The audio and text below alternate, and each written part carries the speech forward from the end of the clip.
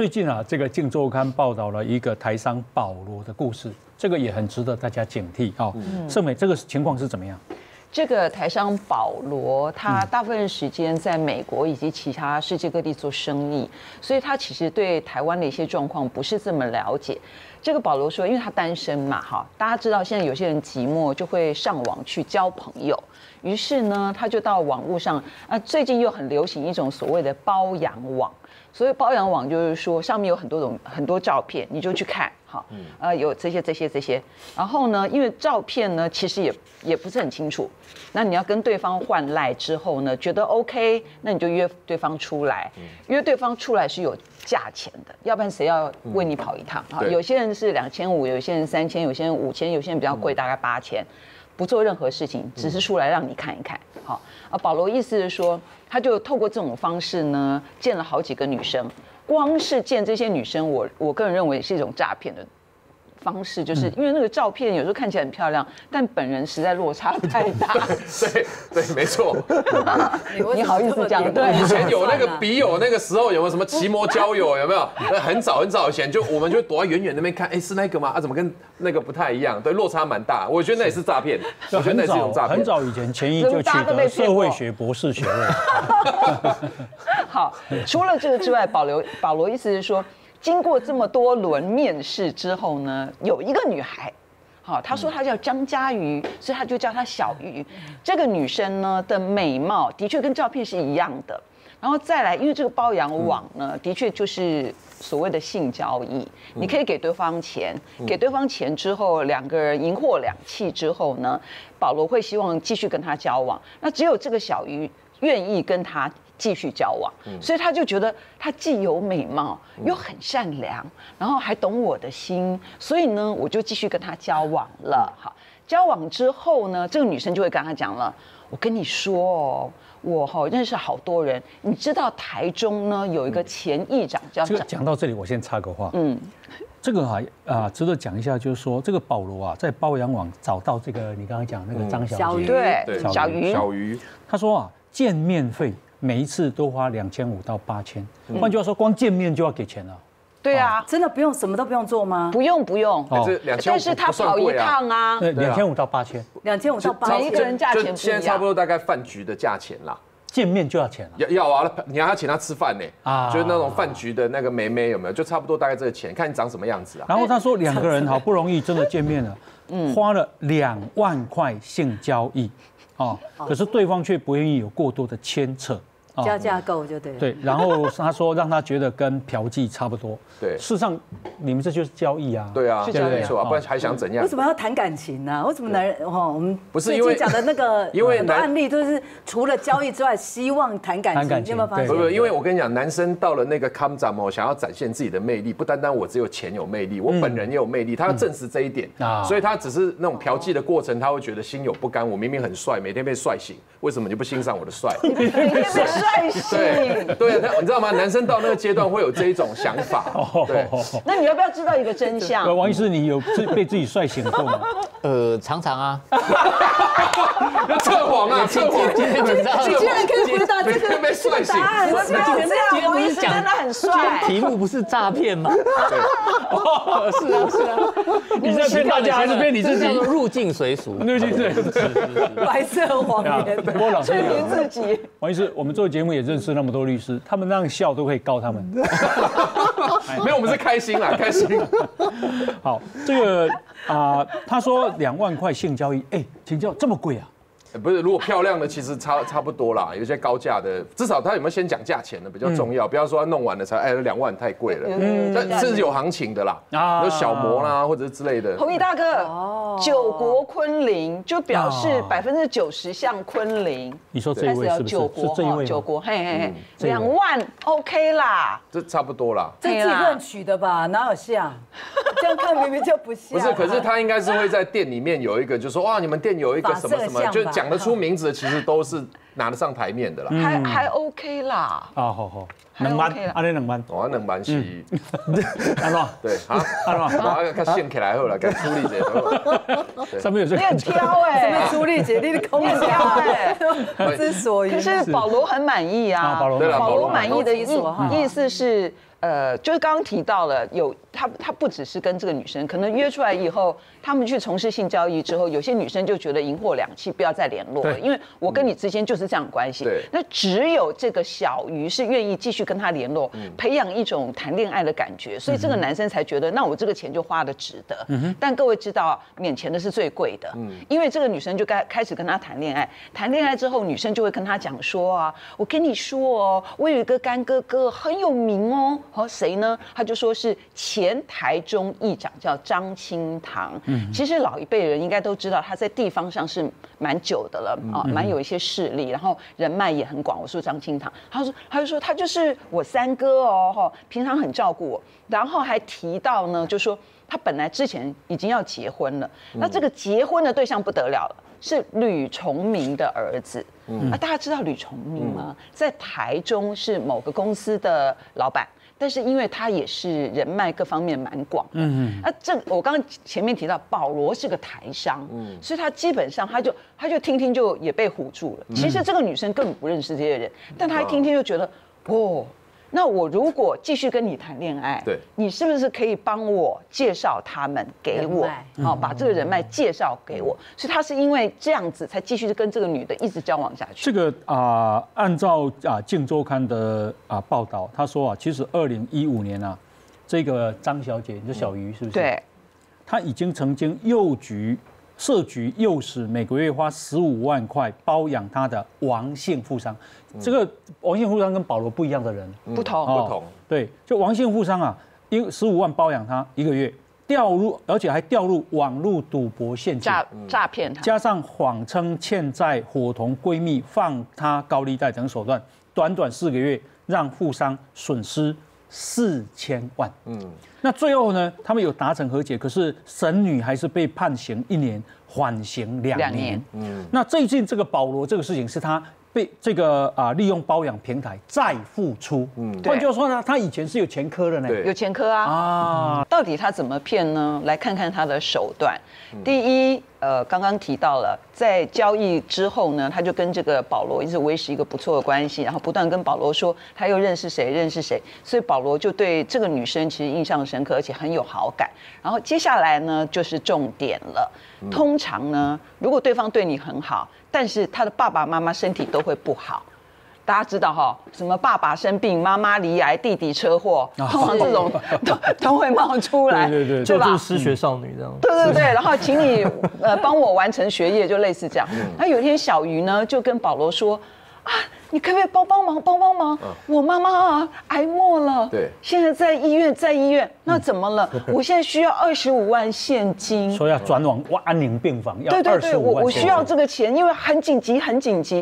然后保罗就说：“哦，那好好好，那我我就去帮你刷。”他说：“不不不不不，你哦就到他指定的一个通讯行。他说：“你到通讯行去，对去刷这个卡，二十五万，但是要付两万手续费。嗯，钱通讯行会转给我。”然后这个保罗可能搞不清楚状况，我刚刚提到因为台商嘛，对不对？奇怪，会对啊到通讯对啊行，通讯行然后为什么要手续费两然后万？连通讯行的人都受不了，为什么？因为保罗就赶去这个通讯行跟他讲说，我现在要刷二十五万什么，连这个通讯行老板娘说你要干嘛？我女朋友啊，妈妈生病啊，在哪里，在荣总什么？通讯行老板说，医院有在刷卡、哎，医院不一定收现金、哎，连这个老板都跟保罗讲，保罗想对哈，然后他就打电话给小鱼说，哎、医院不是就能刷卡吗？结果小鱼说什么呢？嗯因为前面我们欠了太多医药费了，所以医院不让我们刷卡了。你再不把钱弄进来，我就完蛋了。哇，这一讲是不是钱就进去了？有中哦，对不对有中哈哦，这个有反正他很可怜嘛，要进去。然后这中间呢，其实这上面还有你知道诈骗哦，这个网络诈骗也有很多的这种手段。什么手段呢？我前面不是提到说，她前男友小月的前男友是吕崇明儿子，叫 John 哈。然后呢，突然有一天这个 John 竟然还联络保罗，嗯，跟保罗讲说，我跟你说，小鱼这女孩了不起，嗯，我本来哈要给她一千万，嗯她都不收。这女孩有骨气，嗯她就是不想我帮忙，连我要照顾她，她有情有义，她一毛钱都不收我的。不过我跟你说哦，保罗先生，现在他跟你交往，你多照顾他一下，好不好？他现在缺钱，有一笔十七万五千块，你还是给他吧。这个 这个这个什么啦很奇怪，保罗是弱智是不是？不是那这么热情的 前任保罗啊，是不是智能不足？这个前任怎么了？真的是蝌蚪智能。哪对，来真的的前任？太扯了。哇，对，而而且而且那蝌蚪都变青蛙了。你有没有觉得有时候我们，那所以你刚刚问我们三个人说，你会不会告诉人家你被骗？当然不会，因为那个过程告诉人家，人家就会笑啊，就会觉得啊，你那家公啊。可可是有时候男生哦，你在晕船的时候是真的真的会发生这个这种事情啊。一听就很怪啊没有，你晕船的当下的那一位船那个水手是不会有感觉的。而且这个 酱都说我跟他交往过，我家里家大业大，他都不贪我家的钱了，他是多么有骨气，而且他根本没有见过这个教，对啊没有哎、只是接到没有哎、电话对啊只是赖赖啊对话赖对话，连电连讲电话都没有，只是赖。你看多所以你看，光是这个好，这钱又过去了。然后他为什么要汇这个钱？是因为。有一次，小鱼就说：“我跟你说哦，哈，这样他们家啊有一个很重要的一个餐会，哈，吕崇明，对对对，会办这个尾牙。那你知道吗？因为吕家在台中呢，家大业大，所以这个尾牙不得了，有头有脸的，甚至政治人物都会来。我会带你去。那保罗就觉得，哎，这样我就值了嘛，对对对对不对？我带你去。O k 的。结果等等等等半天，通钱卖，对，等半天，怎么我们不是讲好要去吗？这女生突然一下消失，哎，很晚的时候才告诉 Paul 又来了，嗯，啊，我妈生病啊，我今天没有办法去尾牙，我真的对你很抱歉呐，啊，下次哦，我再带你去，你都会觉得这个有问题，对不对？可是保罗一直觉得那个很没面子哎，对啊，因为人家根本没有邀我，然后我真的去参加尾牙，那你哪位？就女朋友没有出现，我只看他图样，对啊，到底要吃不吃啊？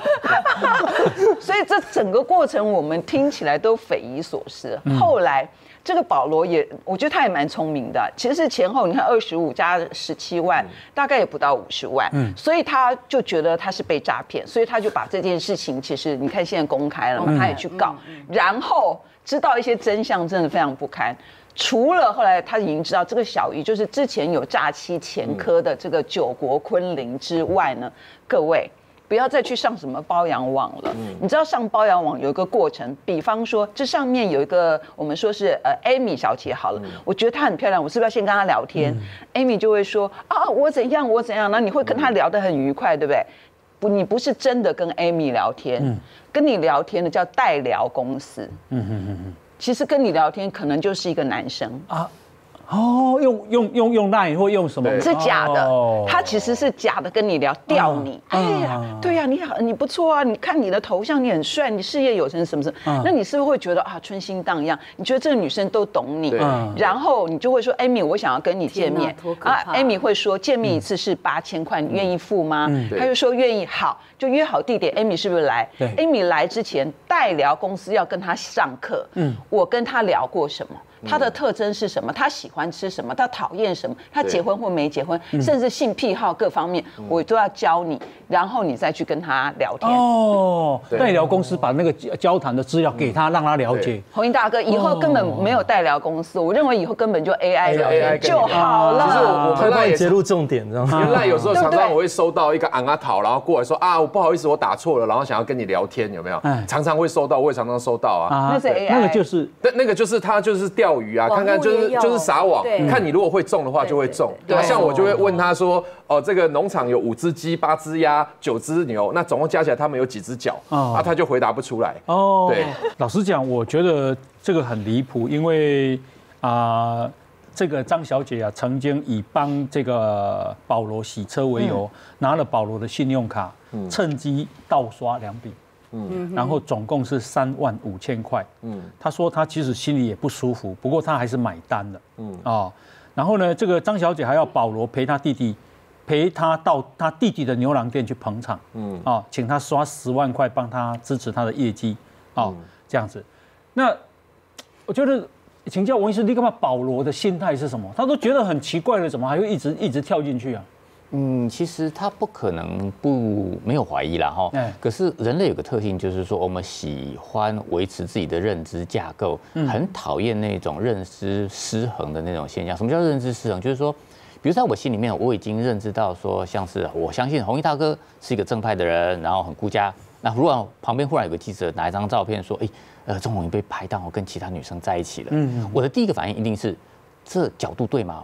这是不是合成的？是不是假的？啊，那为什么我会有第一个这个反应？因为大多数的人类哈，会先希望筛选现实，希望这个现实符合我的认知。嗯，同样的，如果说这个人本来对，如果本来这个人他就是很讨厌郑弘仪，他觉得郑弘仪通通都是呃那个。伪君子，那么他拿到这个诈骗的时候，他第一个反应就是果然抓到了，我们终于抓到真相了。这是人类的正常的反应，还是人正常反应啊？所以这一些诈骗其实一开始都一定要把。被骗的人在那被骗的脑袋里面先建构很多很多的认知，那这种的认知哦，往往是需要。那你觉得王那个这个保罗对那个女生的认知是？他一开始的认知就是在众多女孩子中间，就是有这么一个这么漂亮的女孩子，她愿意来靠近我，那愿意跟我认识，因为看我的优点，跟 跟我有谈恋爱的感觉。然后他又告诉我说，他有很多的人嘛，又认识这么有名的人，还有刚刚哥哥什么之类的。所以在他的认知里面，这个女孩子就是这样子的形象。发现保罗一直一直跳进去，我们要不要提醒他？其实哦，你要去提醒他多好，你的方法要用对，因为我们人类也有保罗靠腰啊，你赶紧赔你啦！没有，听不进去了，通常都会失败。你是那精虫冲昏头了？对。因为如果说脑袋人人的脑袋里面哈，一定通常都会有那种红白对抗这种状况，天使跟恶魔他会彼此互相交织。其实每一个人内在心理深处都会互相冲突。但是我们人类的大脑有一个很偷懒的地方，就是如果这个时候你有一个外力介入，嗯，你跳进来扮演其中一个角色的时候呢，他就会专心扮演另外一个角色。意思是什么？比如说我现在怀疑这一个我的部下。哦，他可能有贪污，可是在我脑袋里面又觉得这个人大多数的表现都很不错，嗯，那就像那个公关计划一样。那我脑袋里面想说，哎，有没有可能他有问题？但是这个时候我还在挣扎的时候，这个人忽然有个人跑过来说他是诈骗啦，哦，可是我脑袋里面我就会开始站站到另外一方。可是这个人工作表现还不错啊，懂我意思吧？对，那这是人类大脑哦一个先天的偷懒的一种行为。嗯，那但是最糟糕的事情是。我们所有的想法，哦，从我们内在里面自己生出来的比较有说服力。嗯嗯，所以我站在红方久了，那我就会开始越来越坚定我的信念。哦，所以当你开始来去用这种方式去说服的时候，对，比如说这个记者告诉我说，哎。郑文被抓到了，我会开始跟他 defense，我觉得说这不太可能，哎，我会开始站在另外一方，对，所以这个时候如果真的权益的认知是什么？我我跟他不是很熟啦，对啊，所以反过来讲哦，如果这个时候你真的要去说服的话，你比较好的做法是。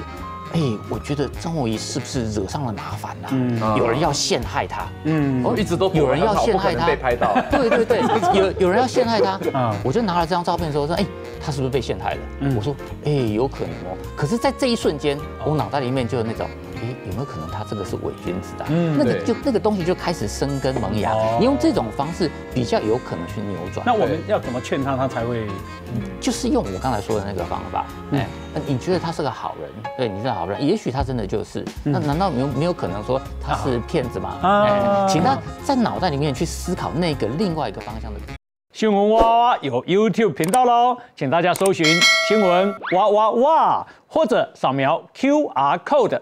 也可以啊，按下订阅钮，开启小铃铛，请大家继续分享。